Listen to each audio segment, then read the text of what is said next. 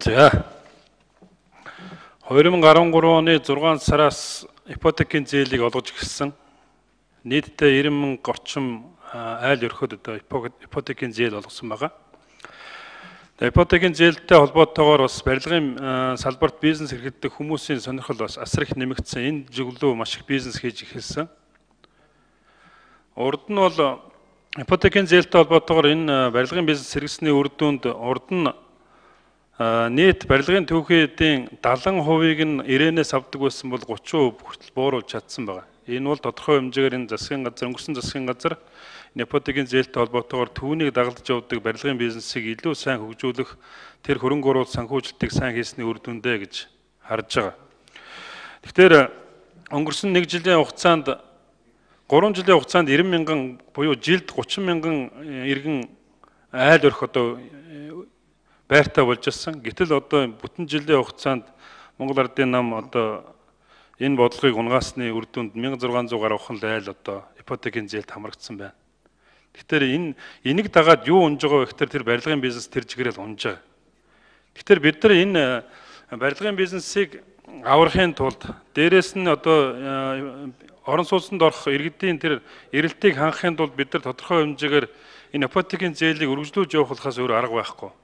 Инхийн тулд бас э, зарим нэгэн арга хэмжээ аваач гэж хүсэж байгаа. Өнөөдөр тэр ипотекийн зээлд нийтдээ 3.6 их найд төгрөгийн э, зээлийн багц байгаа. Тэр зээлийн багцыг э, энэ дэлхий дээр одоо баг хүүтэй ялангуяа тэр ипотекийн зээл бол ойролцоогоор 95% буцаан төлөлтөө ийм сайн зээл байгаа. Тэрнээс бүр болохгүй бол 2 их найдын одоо 100% төлөгдөж байгаа тэр зээлийг нь багцлж хагаад хоёр дахь зах зээл дээр гаргадаг юм уу? Альсвал одоо бусад э, томоохон орнуудад э, зээл болгож авах тэр одоо барьцаан тавь зээл авах тийм боломж байна. Энийг хийгээд явахгүй бол энэ барилгын бизнес чинь хамтдаа дампуураад унчих ийм одоо хандлага харагдаж байна. Тэгэхээр энэ дээр ялангуяа 20 дахь зах зээл дээр тэр зээлийн багцыг гаргах зээл авах тэр асуудлуудыг ямар хэмжээнд байгаа вэ? Энэ дээр одоо манай Эрдэнэбат дарга сайд болохдоор энэ Батцаандан бусад гишүүдийн асуултанд нэлээд усларч хариулдаг юм. Яг салбарынх нь хүнээс асууя гэж бодож байна. Мөнх хоёр сайд энэ дээр хариултаа өгөрөө гэж хүсэж байна. За Баруун аймаг руу тавьж байгаа замын асуудал одоо 250 км дутуу байгаа. Баянгор говалтайгийн хооронд ард түмэн маш их хүсэж байна. Энэ замыг хурдан тавиад хачаа гэдэг. Тэгэхээр энэ дээр бол миний ойлгосноор бол энэ засгийн газар нэг компанитай гэрээ байгуулсан тэр нь шүүхэд шүүхтэр байгаа юм шиг байгаа. Яг шүүхийн асуудал яг ямар шатанд байгаа юм бэ? Дээрээс нь тэр компанитай асуудлаа шийдсэн тохиолдолд санхүүжилтийг яаж хийх юм бэ? Энэ жилдээ тендерээ зарлагдах уу? Зэн зарлагдсан уу? Тэгээд ямар компани авч байгаа юм? Тэгээ хизээ тавьж ашиглалтанд оруулах юм гэдэг тал дээр зам тээврийн сайдаас асуулт өсөж байна. За, гурав дахь асуудал байна. Ноцтой асуудал байгаа. Төсвийн тодглохлоор 7 концессийн асуудал оруулж ирсэн. Ардсан нам концессийн гэрээ байгуулахдаа нэг ойролцоогоор 700 орчим сая төгрөгийг төгрөгөөр 1 км зам тавихаар концессийн гэрээг өнгөрсөн хугацаанд байгуулж ирсэн.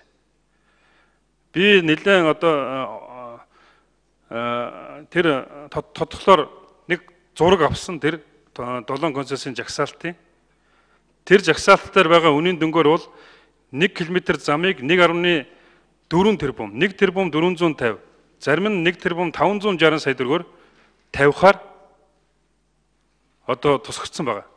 Ямар шуналтай байна. Ямар их идэх идэх уухын одоо донд тусгаараа нэг нэг дахин нугуулж тэр концессийн жагсаалтыг оруулж иж байна. Эн чинь бас шодрог зарим нэгэн ардын намын болон сөрөг хүчний одоо гişүүдийн шүүмжлэлийн үр дүнд буцсан шүү дээ. Нэг дахин угасан шүү. Одоо манай энэ бям цогт зам тавьдаг хэдэн төгрөгөөр тавьж ялаа. Тэрнийг хэлээрэй. Ийм л байна. Тэгэхээр энэ энэ энэ одоо төсвийг төрийн мөнгийг татврын төлөгчдийн мөнгийг шунлын нүд дээр харддаг энэ одоо явдал одоо хизээ дуусах вэ? Концессийн асуудал бол таны шууд хараад нүддэг байгууллагад хамаартай. Дээрээс нь энэ замын асуудал бол зам тээврийн ямаар дамжиж орж ирдэг. Тийм учраас энэ дээр одоо тодорхой хариултуудыг өгөхийг хүсэж байна.